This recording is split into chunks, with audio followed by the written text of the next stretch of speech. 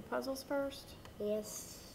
Matthew Huston and his mom Cindy are spending time playing and learning on an iPad. It's the latest in computer tablet technology.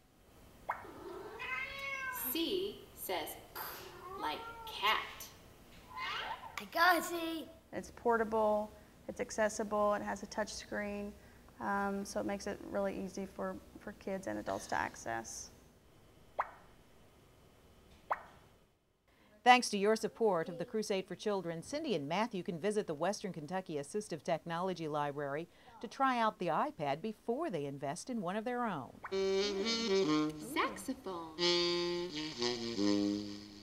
for us to be able to uh, have a funding source that allows us to obtain those pieces of equipment and get them into the hands of the family so that they can try them out with their child before investing the money themselves is what our program's about and that's what Crusade helps us accomplish. Truck.